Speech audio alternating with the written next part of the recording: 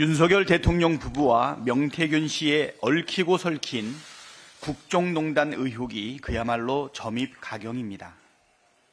지난 2022년 3월 9일 대선 당일에 미 공표 명태균 여론 조사 보고서가 윤석열 캠프 회의 테이블에 올랐고 이 회의 내용과 여론조사 결과까지 당시 윤석열 후보에게 보고됐을 것이라는 캠프 내부자의 증언이 나왔습니다. 증언이 사실이라면 그동안 미 공표 조사는 한 적 없다는 명 씨의 주장이나 대선 후보 경선 이후 명 씨와 관계를 끊었다는 대통령실의 해명은 모두 새빨간 거짓말이 됩니다. 문제의 명태균 보고서는 미래 한국연구소 전 직원 강혜경 씨가 국정감사 때 국회에 낸 대선 면밀조사 결과 보고서와 일치합니다. 명태균 씨가 윤석열 여론조사를 81회 진행하고 그 비용 3억 7천만 원 대신 김영선 전 의원 공천을 대가로 받았다는 강 씨의 주장이 사실일 가능성이 크다는 이야기인 것입니다.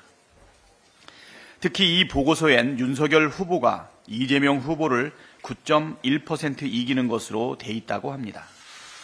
대선 결과 0.73% 격차와도 엄청난 차이가 나고 오차 범위까지 훨씬 벗어나는 여론 조작의 증거로 보기에 충분합니다.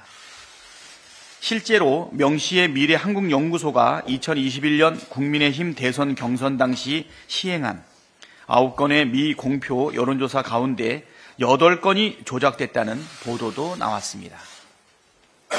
응답자를 부풀리는 수법으로 윤석열 후보가 홍준표 후보를 이기도록 순위를 조작했다는 것입니다. 이 시기에 명 씨는 강혜경 씨에게 윤석열이를 높여야 한다. 외부로 유출하는 거라며 노골적으로 조작을 지시한 것으로 알려졌습니다.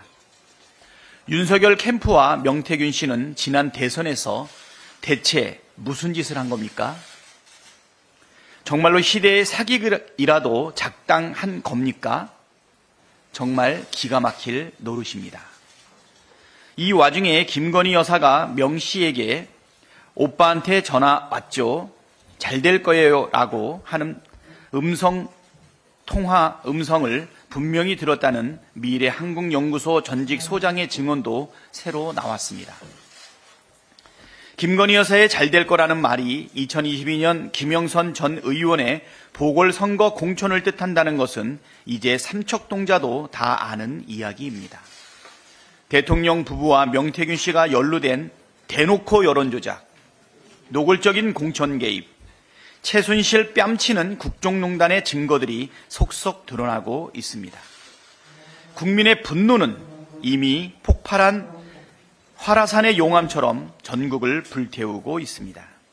윤석열 대통령 부부는 국민 앞에 석고 대제하고 김건희 특검을 받아들이는 것 말고는 그 어떤 탈출구도 없음을 하루라도 빨리 깨닫기를 바랍니다.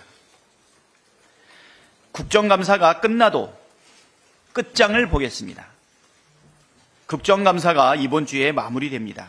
오늘 기재위 종감에선 김건희 게이트 외에도 윤석열 정권의 30조 세수 펑크와 경제 폭망에 대해 추궁하고 민생 대책을 따져 물을 예정입니다.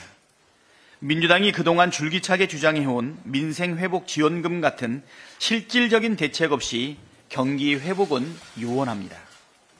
정부와 여당은 마땅한 대책이 없으면 제발 민주당의 충고를 따르십시오.